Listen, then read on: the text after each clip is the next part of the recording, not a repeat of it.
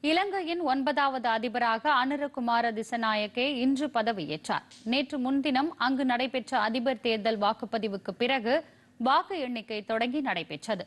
முதல் சுற்று முடிவில் எந்த வேட்பாளரும் ஐம்பது சதவீத வாக்குகளை பெறாததால் இலங்கை அதிபர் தேர்தல் வரலாற்றில் முதன்முறையாக இரண்டாவது சுற்று வாக்கு எண்ணிக்கை நடைபெற்றது. இதில் முதல் இரண்டு இடங்களை பிடித்தவர்களின் விருப்ப வாக்குகள் மட்டுமே எண்ணப்பட்டன. இதன் அடிப்படையில் இடதுசாரி கட்சியை சேர்ந்த அனுரகுமார திசநாயக்கே எதிர்க்கட்சித் தலைவர் சஜித் பிரேமதாசாவை தோற்கடித்து வெற்றி பெற்றதாக இலங்கை தேர்தல் ஆணையம் அறிவித்தது. திசநாயக்கேவிற்கு ஒரு லட்சத்து அறுபத்தி ஏழாயிரத்து எண்ணூற்று முப்பது விருப்ப வாக்குகளும் சஜித் பிரேமதாசாவிற்கு ஒரு லட்சத்து ஐந்தாயிரத்து இருநூற்று நாற்பத்தி நான்கு விருப்ப வாக்குகளும் கிடைத்தன.